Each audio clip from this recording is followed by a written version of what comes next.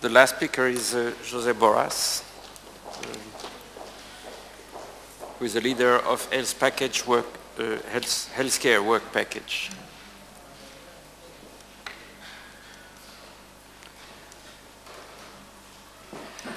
Well, good evening. I think that the good news is that I am the last speaker. So I will try to be as short as possible. When, when I was thinking about this presentation, you know, it's, it's as if it was immediately, it comes immediately to my mind that if uh, we are building a partnership, trying to work together, it's obvious that we are trying to coordinate and to put together and mobilize all the energies involved in the partners. And, but however, after the, this morning discussion, I think that it, it could be interesting just to, to make sure that we are trying to work together with between the different work packages. And perhaps the best thing is just to, to begin to begin with uh, our perspective or our view in, in terms of our work package, the work package 7. Tomorrow we'll, we will have the opportunity to discuss more, more in detail these things, but obviously we, we, we see that there are the, the health systems performance in, in cancer care are different across different European countries, so we can learn from each other, we can share best, best experiences, and we, we can try to identify how things could be could be improved in our, in our healthcare systems. So that's the, the, maybe the background idea. And the other one was, I think Robert Howard summarized quite nicely that cancer care sometimes, essentially it's a, problem, it's a problem of organization. So things should be organized in a logical way, the people should communicate effectively, and the care should be coordinated. And then based in this, in this view, we design three broad objectives that tomorrow they will be explained more in detail. The first all is to assess best cancer care practices across European health services, trying to promote a change in experiences and innovative uh, organizational approaches, including the patient perspective. In this, in this broad objective, we include uh, assessing, for instance, the networks in cancer care, assessing also the palliative care process in symptom assessment, also the complementary and alternative medicine and other experiences.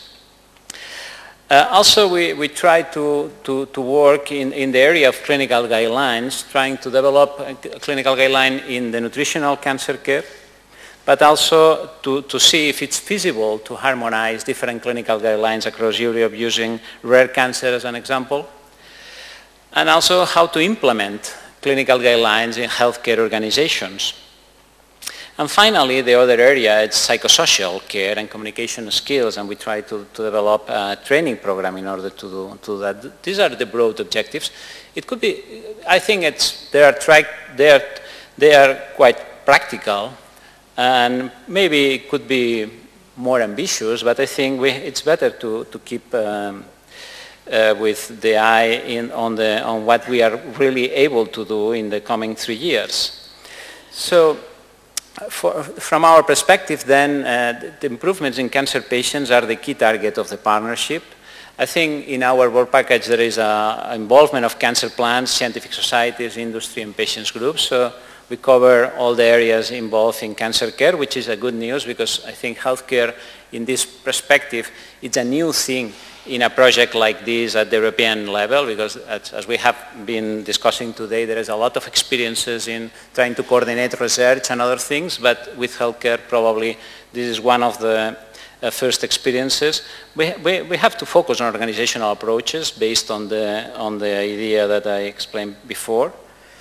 The, we used a diversity of methodological approaches as, as we are going to explain tomorrow and the expected outcome might involve adapting the objectives for country cancer plans. So after discussing in this process during three years, maybe we can suggest some ideas for the cancer plans at country level and maybe at, even at European level, how to, to improve. And also, obviously, to, to have some kind of interaction with the scientific societies, the industry and patients groups in order to, to, to, um, to apply what we have learned.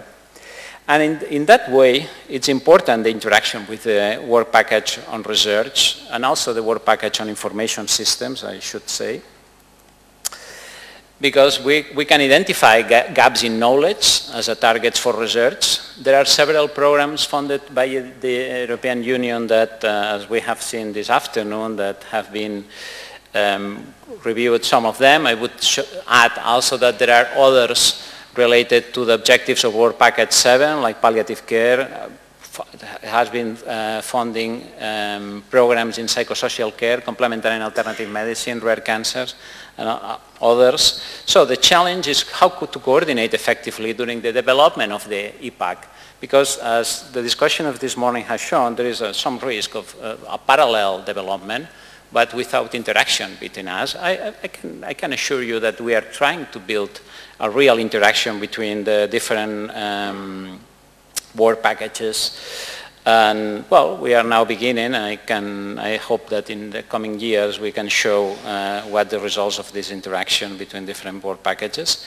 And just as, um, as a final comment, um, regarding the coordination, we need to broaden the research perspective.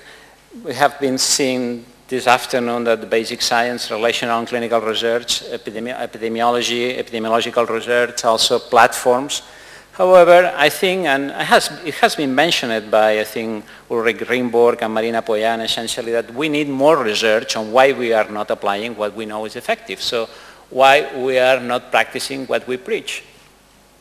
How to change behavior of the clinicians and the patients in that way, uh, especially, uh, and also how to improve the healthcare organization for a better care. So I think this, these are areas that in, if you if you have a global view of what we are investing the money, probably these are not so well represented as they should do if we consider the, the relevance of them. Well, as a final comment, so obviously there is a list of, I think, yeah, there is a list of all the partners. Sandra Rados, I think, made the, this slide. I'm, I am unable to do that. So um, this, this is a partnership.